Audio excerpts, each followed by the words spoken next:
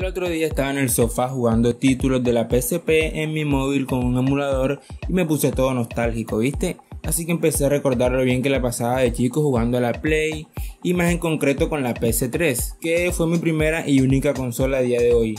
Así que decidí buscar entre las cosas viejas y la encontré.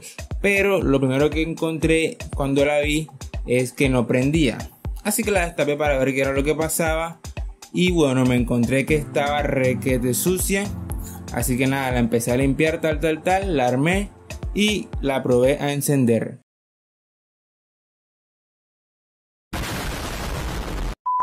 Afortunadamente encendió y todo salió bien, pero bueno, ustedes no están aquí para que yo les cuente mi vida, así que nada, vamos con la camerita del video y es si realmente vale la pena comprarse una de estas consolas en pleno 2022 y que a día de hoy tenemos incluso hasta la PlayStation 5. Así que nada, vamos con la intro y pasemos con el video.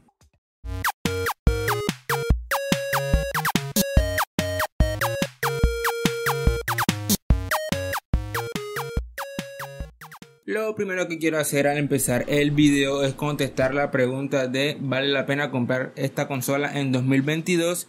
Y bueno, la respuesta es un rotundo sí. Y creo que dirá lo mismo incluso 5 años más tarde. Es una consola muy buena con un gran catálogo y unos grandes títulos. Así que esa sería una de las principales razones por las que vale la pena comprar esta consola ahora o en unos años. Sobre todo si tú no has tenido la oportunidad de jugar grandes títulos de esta consola, donde creo que sé, por mencionar algún título, te puedo decir el Infamous, el Little Big Planet 2, el God of War Ascension, Gran Turismo 5 y bueno, hay un largo etcétera. Esto hablando de juegos que solo se pueden jugar en esta consola. Y aunque si bien hay muchos títulos de ella que en su día eran exclusivos, pero a día de hoy han salido remasterizados para PlayStation 4 y PlayStation 5, yo creo que nada se compara como jugar la versión original en la propia PlayStation 3. Así que nada, volviendo al tema del catálogo de juegos, contamos con una cantidad de casi 2.000 títulos para esta consola, donde tendríamos entregas como GTA 4, GTA 5, Red Dead Redemption, y prácticamente toda la saga de God of War la puedes jugar en esta consola. Y bueno, es un largo etcétera, por lo que prácticamente tendrás un juego de todo lo que busques. La segunda razón por la que recomiendo esta consola tiene que ver con la primera, y es que de esos casi 2000 juegos aún existen juegos con servidores online donde puedes, eh, donde después de más de 10 años de haber salido la consola aún podemos disfrutar de esta función.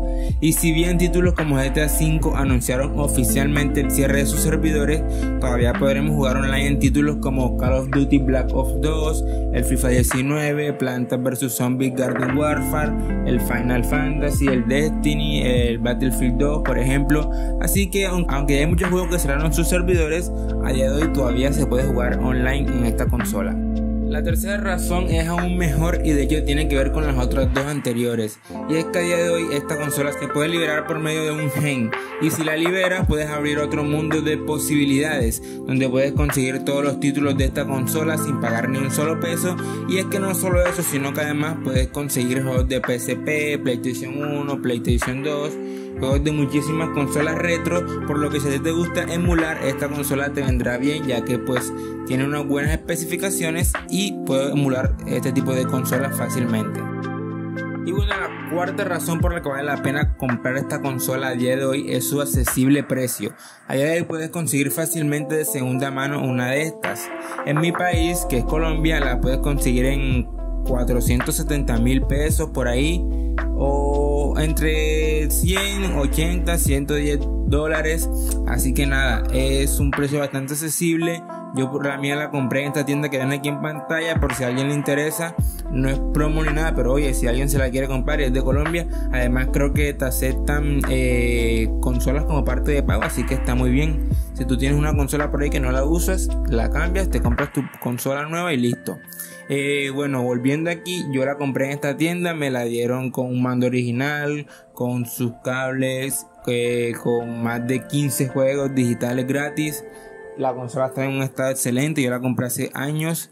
Y teniendo en cuenta que por lo menos en Colombia comprar una PlayStation 4 de segunda mano te cuesta alrededor de 200 dólares o 1.100.000 pesos por ahí Hombre, pues la verdad es una opción bastante accesible. Además que te llevas una consola con un amplio escaparate de juegos, como ya les dije, y que además no es tan antigua, tiene unos buenos gráficos, así que para mí es un ofertón.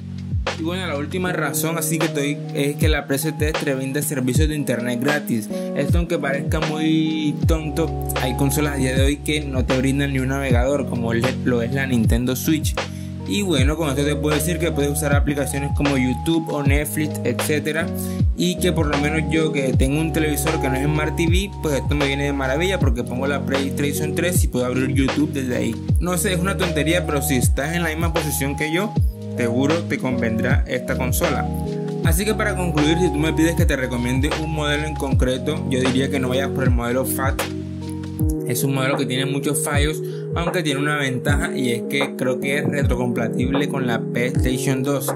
Así que nada, para que lo tengas en cuenta. Pero yo te recomendaría que vayas por un modelo Slim o Super Slim. Y en cuanto a almacenamiento, te recomiendo una de mínimo 300 GB de espacio de almacenamiento y ya con eso vas a estar bastante bien la verdad. Y pues nada gente eso sería todo. Si te gustó este video no olvides darle un like compartir y suscribir. Son videos diferentes pero que la verdad me gusta mucho hacer.